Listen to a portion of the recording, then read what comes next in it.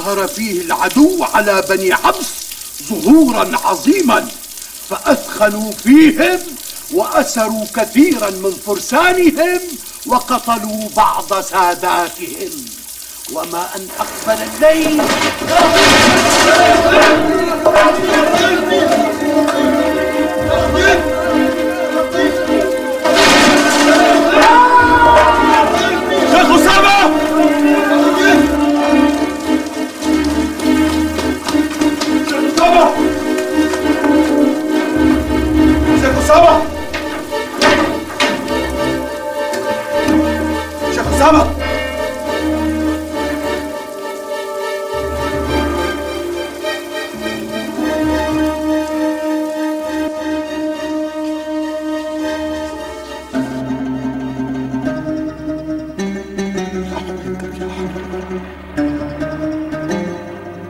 اخ يا قلبي آه قلبي عم يجاني خليكي بمكانك رح روح أعمل لك كاسة يانسون. اخ يا عمتي آه قلبي عم يجاني اخ يا عمتي أخ ما هيك قلبي عم يوجعني. لما بقول لك ما تلعبي تحت المطر ما بتردي علي. خليكي.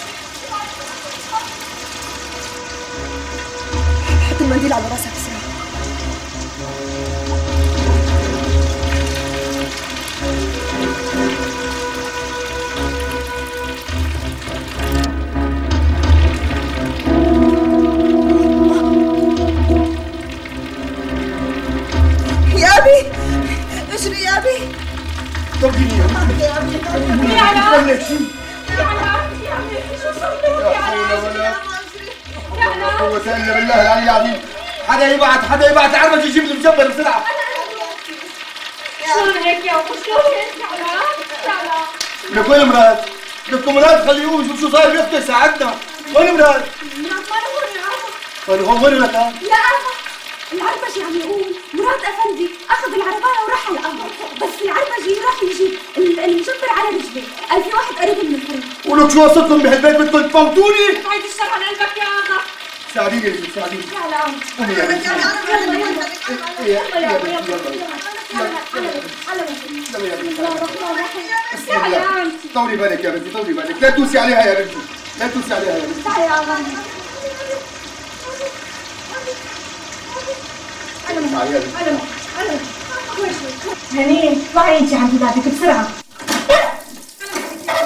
طولي بالك يا بنتي طولي بالك طولي بالك ان شاء الله خير يا رب ان شاء الله خير يا بنتي ان شاء الله خير شوي شوي شوي شوي على مهلك يا عم عليها على مهلك يا بنتي على مهلك. ان شاء الله خير يا رب يا رب على شوي شوي شوي شوي على مهلك يا بنتي الله يرضى عليك شوي شوي سطحوا والله تعالي يا بنتي تعالي تعالي تعالي تعالي توبريني تعالي اشرحي شوي شوي شوي شوي توبريني شوي شوي شوي شوي يا لعم يا لعم في إيه ماما إيه يا ماما إيه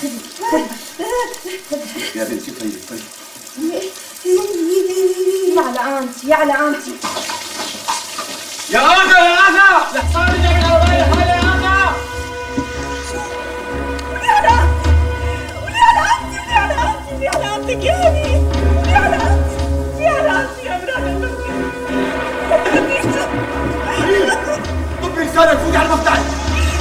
يا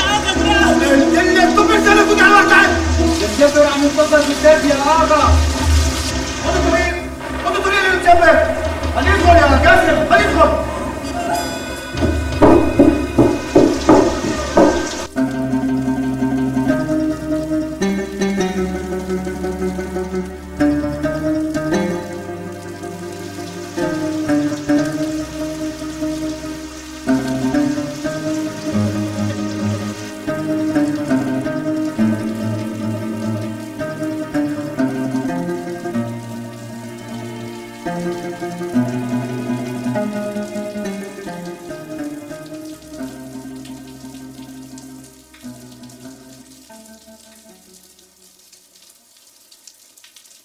مراد؟ شو عم تحكي انت؟ لا اله الا الله. طب استناني رح أحط ملبوسي على بدني واجي معك.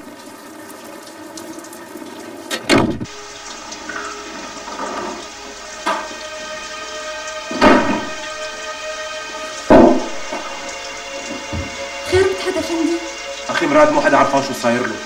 راح على القهوة بالعربايه ورجعت العربايه لحالها. شو يعني؟ يعني ما بعرف هي أول مرة الحصان بيرجع لحاله على البيت. خايفين يكونوا مراد صاير له شيء لا سمح الله.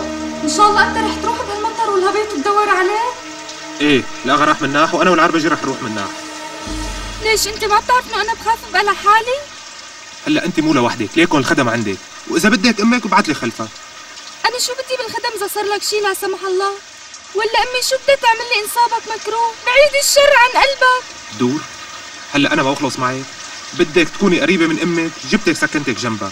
هلأ لأنه بدي أروح دور على أخي صارت أمك ما بتنفعك. أنا خايفة عليك.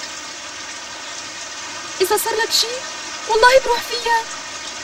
بعيد الشر عن قلبي. الشر ما رح يبعد عن قلبي إلا إذا كنت بجنبي.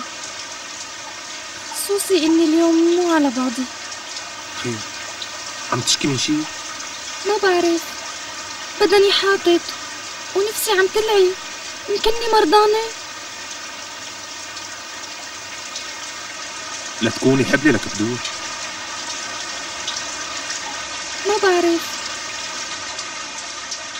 خلص ارتاحي ارتاحي لك ارتاحي شلون بدي ارتاح وانت مالك بجنبي؟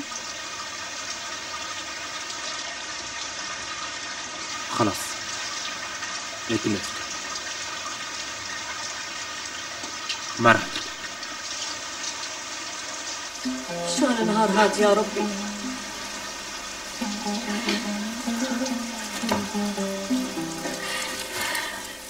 شو عاملة أنا يا ربي؟ نازك ومراد بيوم واحد. الحمد لله. الحمد لله على كل شيء. طولي بالك يا ستي. نازق والحمد لله بألف خير. ومراد أفندي عسرة معه وقلبي قايل لي إنه بخير. قلبي قام اطلب من الصبح. يا ما شو الحكي فتحت أمك على الخير. يا قلبي شو كان مهزيني بعيشتي؟ انت كمان هنية. شبكي حاجة تفاولي على الزلمة. فتحت أمك على الخير شبكن يا جماعة. الضوء بلش يجلجل والمطرة بلشت تخف. يا رب. يا رب سترك. يا رب عفوك. يا رب. يا رب أنت أدرى بحالي. يا رب.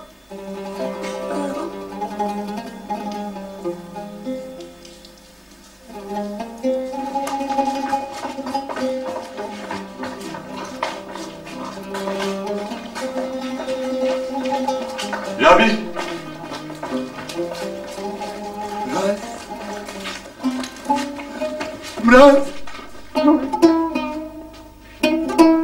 الحمد لله على سلامتك حبيبي الحمد لله على سلامتك الحمد لله على سلامتك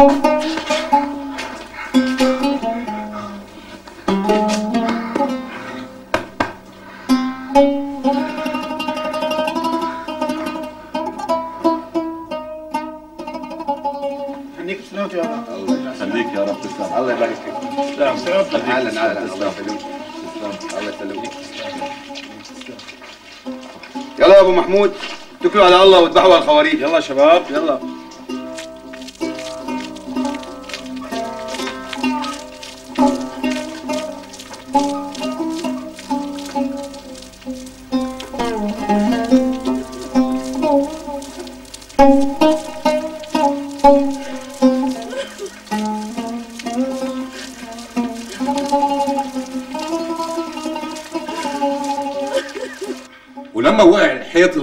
لخان اسعد باشا لوين اجا؟ اجا فوق الحيط اللي مواجهه ورمالك فرد رميه ست دكاكين بسوق البزوري يا لطيف. ووقع عشر محلات بالخياطين والمرادنيه وسوق جديد وسوق الدق حتى العسكر نقلوه من اشنا ونيموه بالجوامع. يا لطيف الطف. يا سيدي الشوف مو مثل الحكي. لا تذكرني يا آغا لا تذكرني. المهم سيدي الحمد لله على سلامة مراد أفندي. الله يسلمك. تاري الضنا أغالي كثير يا آغا.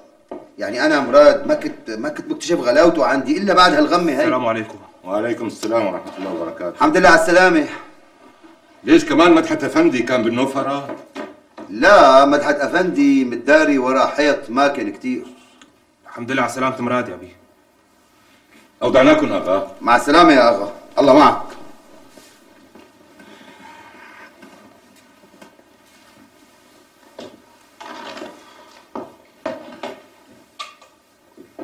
يا ابي بدور كانت كثير تعبانة. مشان هيك ما قدرت أتركها لحالها. لا لا لا. كل شيء إلا بدور سلامتها إن شاء الله. بس أنا وصيت لعربجي ها وصيته يخبرني أول بأول. لا بعرف أنا إنه قلبك على أخوك. وأختي نازك يا أبي. إن شاء الله صارت أحسن. والله قلبي غليان عليها.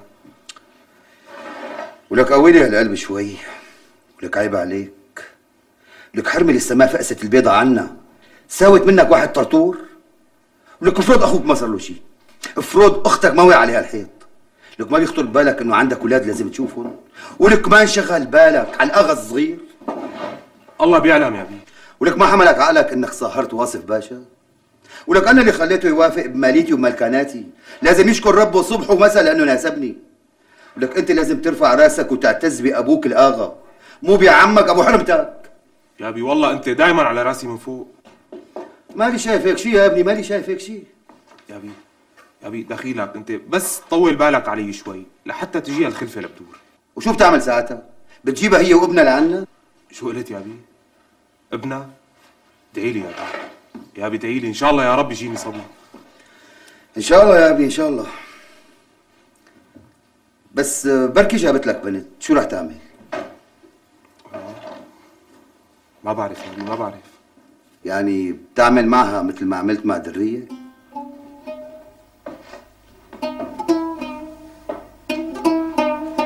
تفضل ستي. يسلموا ايديك الله يسلمك يا ستي. بتريدي مني شيء؟ إيه بدي إياكي تبعتي لي ورا ام عبده ام عبده لهلا ما وصل الستي يا خوفي يكون الهبيط وصل على بيتها المسكينة. طيب و وشكرية؟ شكرية؟ أخ منها يا ستي. ليش عم تشكي منها؟ لأنها مختفية يا ستي.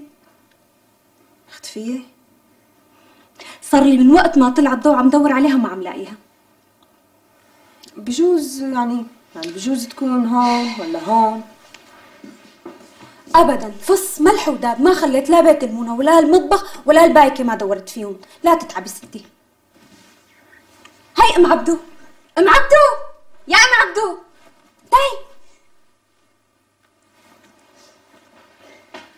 السلام عليكم. وعليكم السلام. يا بسم الله عليك يا ستي. شبه رجلك خير إن شاء الله؟ ما في شيء معده ما في شيء عدي بس وقع الحيط عليها.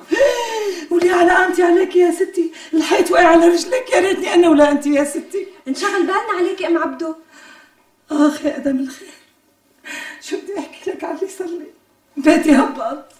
صفيت بلا بيتي يا آدم الخير. ولو ما لحق حالي وطالع ابني لبرا كان هبط البيت فوق راسنا. لا حول ولا قوة إلا بالله. طيب ام عبدو أبنك وين تركتيه؟ يا حبيبي يا أبني يا حبيبي سامحني. دخيلك سامحني. وديته على بالمارستان يا ستي. مع العاجزين مثله.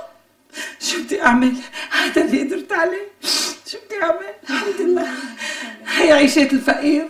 نقول الحمد لله. الحمد لله يا رب. مدام الخير نعم قومي اعملي لك كاسة ليمون لام عبدو ما بدي شي ما بدي شي. دايما بعذبكم معي بحملكم همومي. يا علي عليك يا ستي. يعني كان كل شيء يخطر لي إلا إنه أجي ولاقيك مشبرة. الحمد لله رجليكم وغير شيء أنا كنت رح أتأذى أكثر من هيك يا أم عبدو لولا شكرية. شكرية؟ إيه شكرية. اللي عملته شكرية ما بيعملوه ثلاث رجال. كتر خيرها. أم عبدو مين هاي شكرية؟ شكرية بنت أختي. بنت أختك ولا ابن أختك بوس إيدك يا ستي سامحيني. بوس وجهك يا ستي سامحيني. واغفري لي يا ستي. عبده من اليوم ما عدت تشوفيه بهالبيت. اسمه عبده؟ يعني ابنك؟ اي نعم يا ستي ابني. لا يا ام عبده. هيك؟ هيك بتحتالي على الناس اللي أكرموكي وصانوا لقمتك؟ دخيلك يا ستي. في اللي بدك اياه قتليني موتيني اذبحيني خلص خلص سامحيني دخيلك طيب ليش هيك عملتي؟ من خوفي عليه يا ستي. من خوفي عليه ابني الوحيد ما لي غيره بالدنيا. أخوه العاجز ما منه الرجاء كنت خايفة عليه يسوقوه بالنمرة. على الحرب. على بلاد ما بيعلم فيها إلا رب العالمين. بس وكيلك الله يا ستي وكيلك الله كان كل يوم يقضيه هون يدوق فيه السم والدم. كان كان ندمان كتير لأنه هرب من نمرة. إيه، كان يتمنى الموت كل يوم يقضيه في هون. حتى كرهني وكره حاله يا ستي.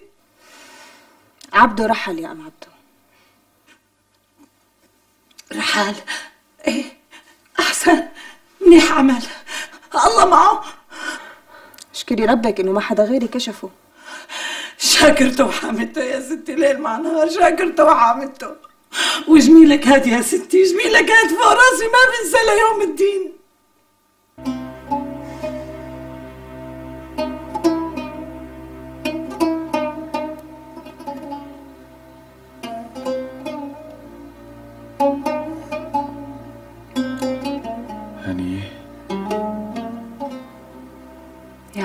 عيون هنية من جوا شو عم تعملي فوق راسي؟ عم كحل عيوني بشوفتك مراد أفندي أبو أسامة ارتحم مين أبو أسامة تقبرني؟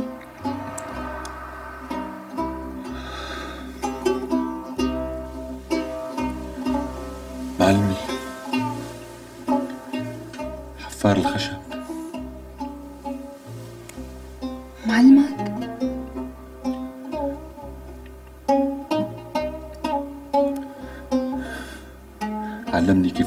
قطعة الخشب اليابسة بدع وفنون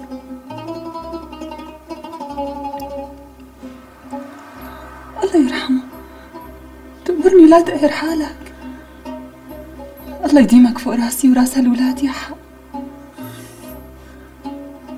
كان معيش عيلته وولاده من هالكار. هلأ كيف بدهم يعيشوا؟ أبو أسامة مات بس كارو ما لازم يموت. دكانته ما لازم تتسكر.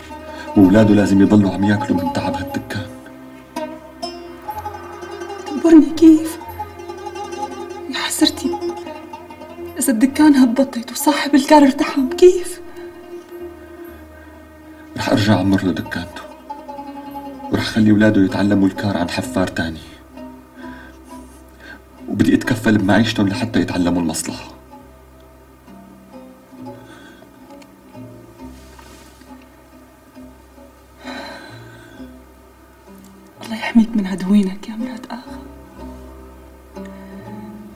يديمك فوق راسي. يا أبو قلب كبير. يا حنون.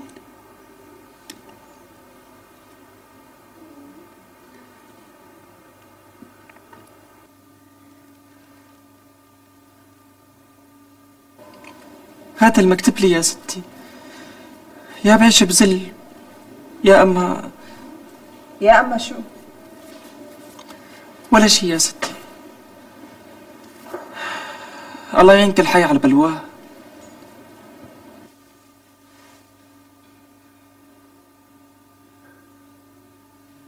شو يلي خلاكي تتستري عليه يا نازك؟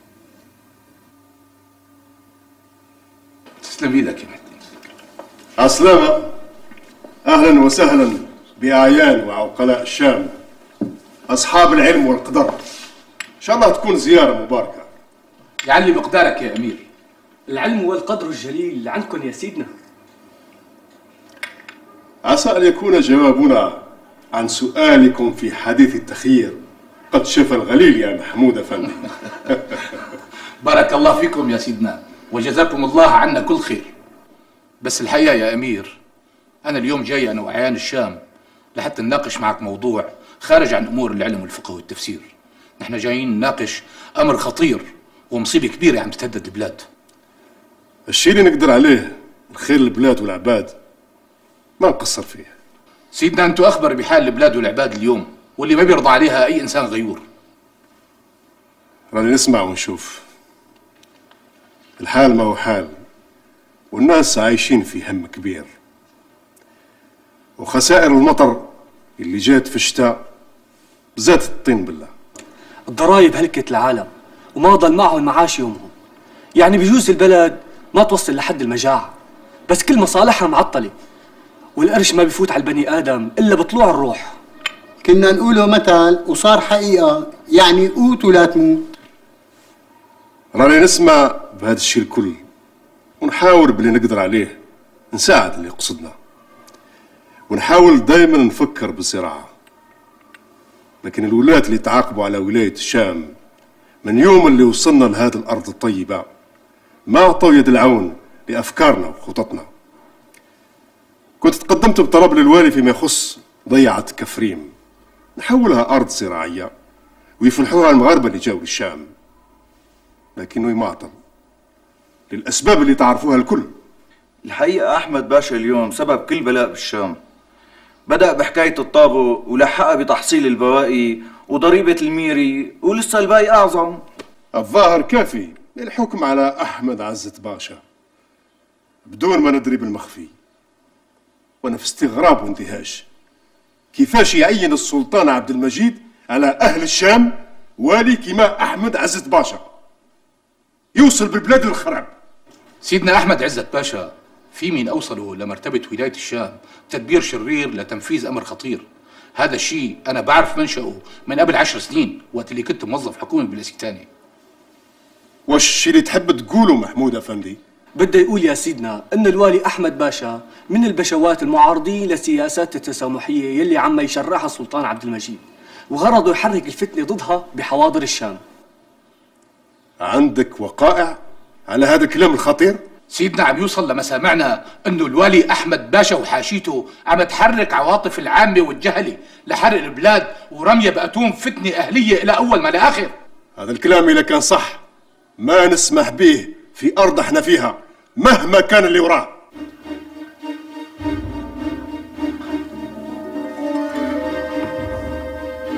وما هي أوامر حضرتكم ساعة وقوع الواقعة؟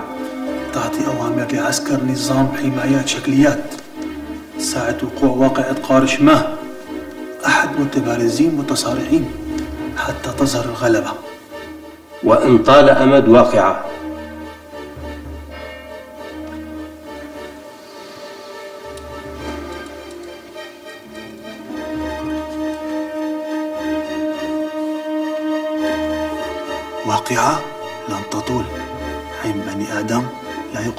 مخرز وبعد خلوص واقعة وانقضاء أمر محتوم نقول كلمتنا في تدابير سلطان عبد المجيد فرمان ورود كل خان الجديد. يجب أن يحرق أصابع من كتبه.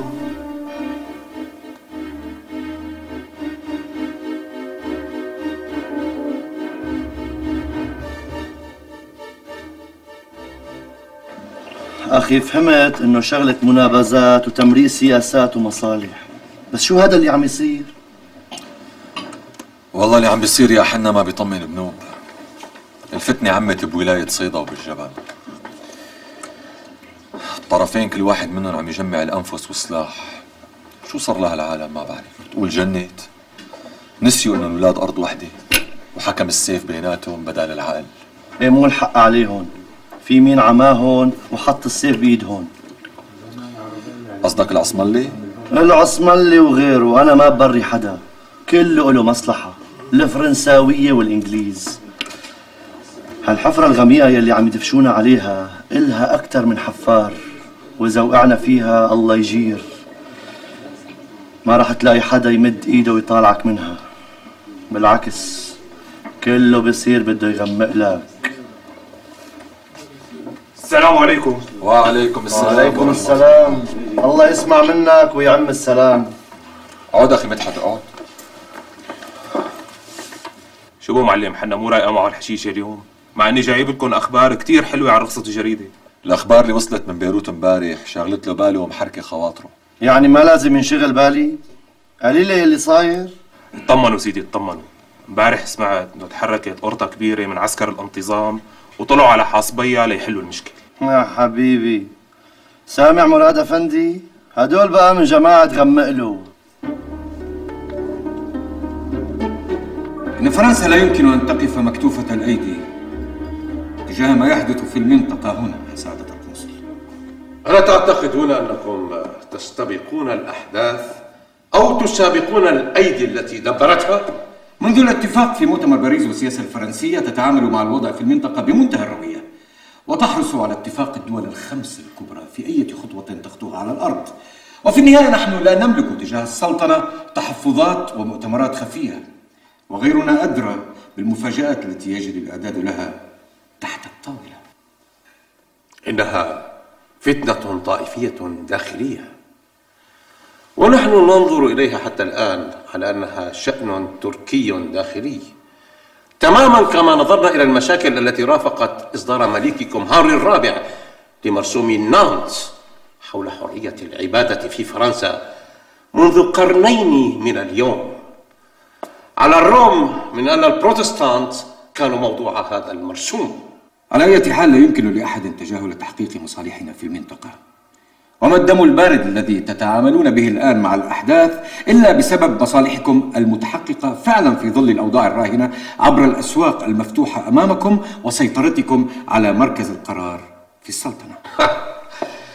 أنت تخاطبني يا سيدي من أعلى صار السفينة الحربية التي تقل ستة آلاف جنديا من جنودكم البواسل في طريقها إلى سوريا في محاولة لفرض الأمر الواقع. لم يكن بالإمكان الانتظار أكثر من ذلك. لقد حان الوقت لنتدخل ونعيد النظام إلى نصابه. إن لنا استثمارات هنا يجب أن نتعامل معها بشكل مباشر. نحن نحمل إلى هذا البلد نسائم الحرية والنهضة الحضارية. أنت تضحكني يا سيدي بحديثك المنمق هذا عن التدخل العسكري الذي لا يمكن أن ننظر إليه. إلا كغزو عسكري. مهما ابتدعتم له من أسباب ودوافع إنسانية. دعنا نتحدث بصراحة يا سعادة القنصل. لقد حاولنا أن نقتسم معكم لحم هذا الجمل الذي لم تعد قدماه قادرة على حمله. لكنكم تريدونه أن يتابع المسير وأن تتربعوا على سنامه. وأنتم تحاولون الآن. جعله يتعثر بالقوة. كي لا يكون هناك مفر من ذبحه وتقطيع أوصاله وهل لديكم يا سعادة القنصل طريقة أخرى للاقتسام؟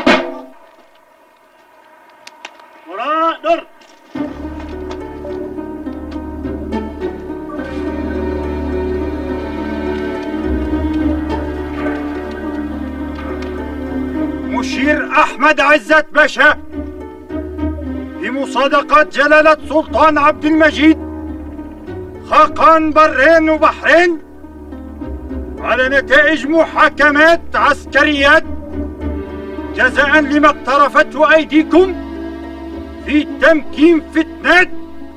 نأمر نحن فؤاد باشا مشير خارجيات مفوض من عظمة افتخار سلطان. بإعدامكم رميا بنشان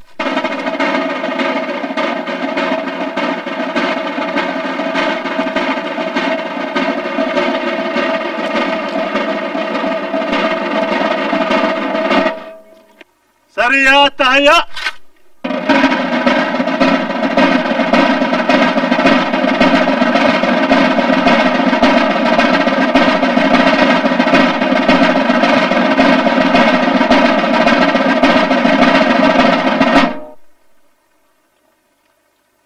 سريات نشان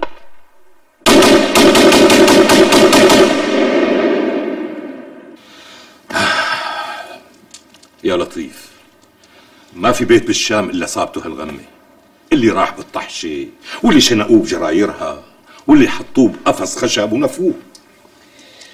إيه الله يرحمنا جميعا. ونرجع البلد لأصله. وما يخلي أي غريب يوقع الفتنة بيناتنا. قال امبارح نيشنوه لاجازات أعماله. أحمد باشا هو دنا بالحنش الشغلة أكبر من هيك بكتير. ليش في حدا تاني عم يحفر لنا هالحفرة غيره؟ اللي عم يحفر لنا كان ناطرنا نوقع مشان يغمق لنا أكتر. كيف هي بقى؟ هي بدك تسأل عنها أبو الحن. مين هذا أبو الحن؟ هاد رجال. وقت الناس كانت عم تتعلم تفك الحرف كان هو عم يجرب يركبه. عقله بيسوى ذهب. أصابيعه بتنلف بحرير. كان يبقى مثل أخي وأعز. آخ وينك هلأ يا أبو الحن؟ إيه الله يجمعك فيه يا ابني. مبين عليك بتعزه كتير. الصديق غالي يا آغا. هذا مو صديق هذا أخ وغلاوته بغلاوة مدحت على قلبي. من وقت ما صارت الواقعة وما عدت عرفت عنه شيء أمرار بتدق براسي بقول لحالي لازم أطلع دور عليه من قرنة لقرنة ومن مطرح لمطرح إلا ما أعرف عنه شيء دخيلك يا ابني لا تبلينا. لسه الحالة ما هديت. لولا خوفي من إنه يقولوا عصى أوامر الوالي لكنت خليت هالخان مسكر وحطيتكم بالبيت وقعدت أنا وياكم. حطيتكم حوالي لا طلع ولا فوتة. بتعرف معك حق يا آغا. صاروا لامين فوق الألف شاب من الشام وساحبينهم على النمرة وحاطين خبر عند المخاتير. يلي بيسلم حاله طوع ورضا ليخلوه بالبلد. ويلي بيكمشوه هربان بدهم يسوقوه لبلاد ما بيعلم فيها غير رب العالمين. ولربك حميد أنا دافع بدل لهالولاد يا الله رحمك. بتعرف قديش فرض فؤاد باشا على التجار والأعيان ليخلصوا رقبة أولادهم من النمرة بهالأيام؟ قديش؟ عشرين ألف قرش القرش ينطح قرش. أوف. كل هالقد؟ عم يتلبسوا العالم تلبس. من يومين طلبوا ابن رشيد أفندي القسي وبعتوا له الضابطية قام أخذ لهم إياه ورجاهم إنه عمره 45 سنة ورايحين أسنانه. قاموا طلبوا ابن ابنه. عوجة وما في خواص يا آغا. وطالما نحن موطين راسنا ومطاطين كتافنا إلا ما يركبوا على ظهورنا بلا الحكي يا ابني الله يرضى عليك بلا الحكي. أشهد أن لا إله إلا الله وأشهد أن محمدا رسول الله. هيا دان العصر. صار ترم منع الخرجة والدخل لك ابني قوم خلينا نسكر هالخان نتيسر على بيوتنا ما بدنا مشاكل. يا الله تبداها مني وتنتهي بآخر رجل بالعشيرة. ترانا نقف خلفك صف واحد. بارك الله فيك وفي حميتك يا شيخ مجول تسلم. ما نعستوا سيدنا؟ لازم تفوت تنام كم ساعة وتريح جفونك لما يطلع الفجر. والله يا شيخ محمود ما يجيني النوم. ولا نعرف البلد تمر بهذه الليالي العصيبة. اللي عملته للحين يا أمير ترى تعجز عنه السلاطين والجيوش. أستغفر الله. ما كان إلى الواجب. لكن الأبرياء يلي أنقذت حياتهم وأسعفت أرواحهم راح يدعوا لك لولد الولد. نتمنى صح تصير قصة تحكيها الناس وتعتبر بها. لكن الآن يا شيخ مجول ما نشوف المشكلة خلصت حتى يرجع المرسول من بيروت بنتائج اجتماع فؤاد باشا مع قناصل الدول الخمسة. وظن إنه لو اسملي يديرها بالحق يا أمير؟ المهم مهم الآن يخرج العسكر من البلاد وما يدخل الشام. وبالظن يدخلوها يا أمير؟ في زمان يا شيخ محمود. على جال ضربة مروحة هو بهدي حسين على قنصل فرنسا اللي كان يهين فيه. دخلوا الفرنسيس للجزائر وما خرجوش منها اليوم. ودخلنا معهم في حرب أكلت الأخضر واليابس. لكن اليوم ما نشوفهم إلا يستغلوا الظروف. اللي تمر بها الشام ويدخلوها دخول الفاتحين والمنقذين. ما يدخلونها بإذن الله. ونعم بالله. لكن يا شيخ مجول كل الظروف اليوم مواتية لهم باش يدخلوها تحت أستار الإنسانية وما يخرجوش منها أبدا. السلام عليكم يا سيدي. وعليكم السلام ورحمة الله خير إن شاء الله. ما هي الأخبار؟ الأخبار ما هي منيحة بزاف يا سيدي. أتكلم. الشيوخ ما هم أغراب؟ الجنرال بوفو قائد حملة الفرنسية يطلب منك تاخذ عائلتك وتترك الشام بالحال. خاطر الشام تصير تحت مدافع الجيش الفرنسيس غدوة. شو عم تقول يا رجل؟ وين نقدر نشوف الجنرال قائد الحملة؟ نظن أنه يكون بعد ساعات في قب الياس على الطريق بين الشام وبيروت. يلا اتحرك يا ولدي. قبل ما توقع الفاس في الراس لازمني اليوم نشوف الجنرال ونبصره بنتائج هذا القرار. ونحن معكم يا أمير. لا يا شيخ محمود. البلد في حاجة إلى العقلاء وأهل الحمية كلمتهم حبكم تبقوا هنا وما تغامروش بروحكم لكن أرواحنا ما هي أغلى علينا من روحك يا أمير عبد القادر. يا شيخ مشغول 15 سنة وإحنا نجاهد فيهم ونتعامل مع جنرالاتهم. بس يا أمير هذا واجب. خلينا شوي نعمل الشيء اللي قدرنا عليه رب العالمين. يلا يا عيدين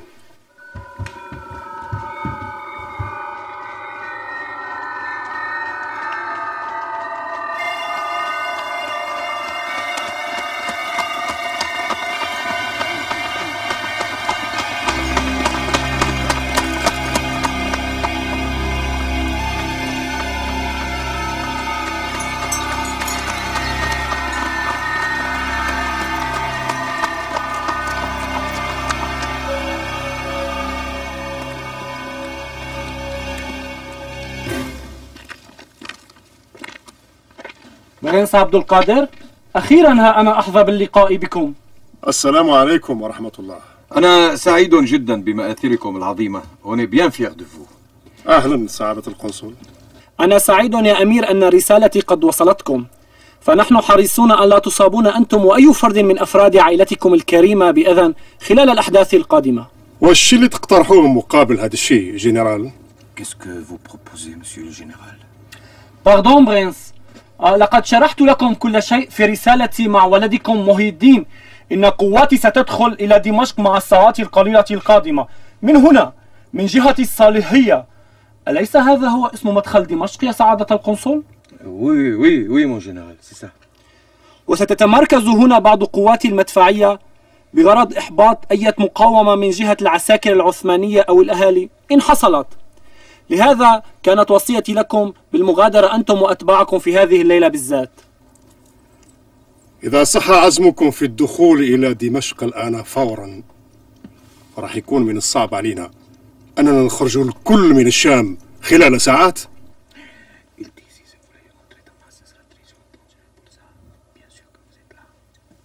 ولماذا يا سمو الأمير؟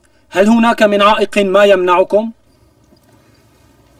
لأن عائلتي الكبيرة الآن تضم كل رجل وامرأة وطفل في الشام من كل الملل والنحل. وراني نشوف جنرال باللي من الصعب أننا نخرجوا الكل ونخليوكم البلاد. Euh,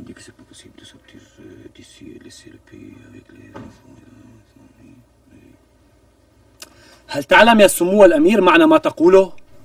الأمير عبد القادر ما يقول غير الكلام اللي يصدقه بالأفعال بإذن الله. وإذا حبيت تسأل الجنرالات اللي يعرفونا في الجزائر راح يجيك الخبر اليقين.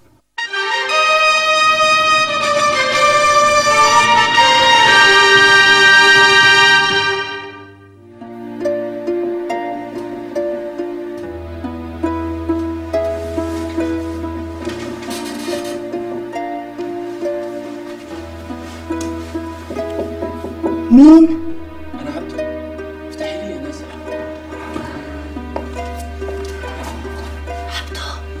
شو جابك بنص الليل؟ خبيني يا نازك. خبيني. العسكر لاحقيني بدهم يبعدوني عنك